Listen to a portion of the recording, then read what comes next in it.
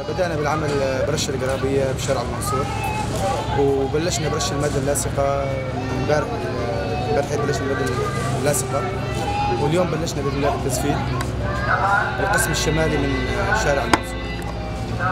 المشروع طوله 1500 1.5 كيلو. مدة المشروع 30 يوم.